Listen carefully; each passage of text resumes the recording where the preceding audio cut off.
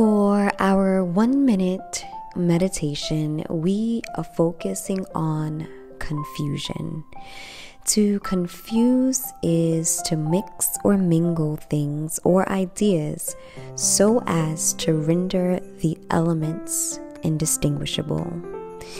It's the process of twisting two or more natures of thought so closely together that the mind is carried away into disorder.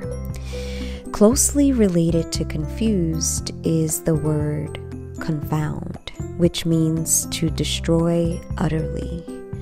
When one says they are confused, what they are really saying is that truth and deceit have commingled so much so that each appear to be identical.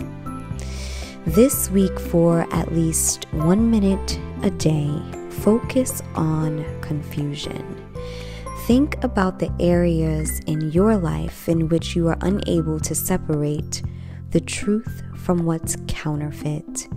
Acknowledge the places and moments you willingly believed a lie, denying that inner voice of truth. Meditate on areas where what you know to be true has been mixed with what isn't.